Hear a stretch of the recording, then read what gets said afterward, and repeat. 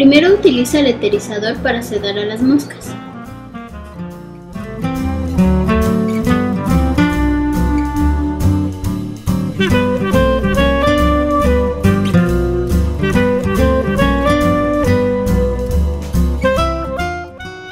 Espera un momento hasta que las moscas se duerman, ya que se encuentran dormidas, vacíalas con cuidado sobre la platina y colócalas sobre el microscopio estereoscópico.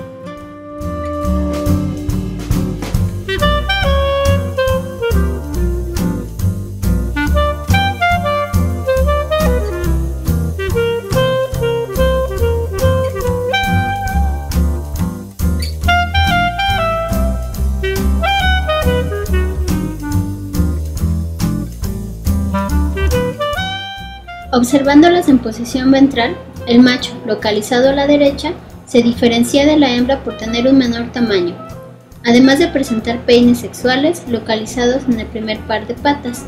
En posición dorsal, el macho presenta los últimos tres segmentos del abdomen de un color más oscuro, pareciendo que estuvieran fusionados, a diferencia de las hembras, en la cual los segmentos se observan claramente diferenciados.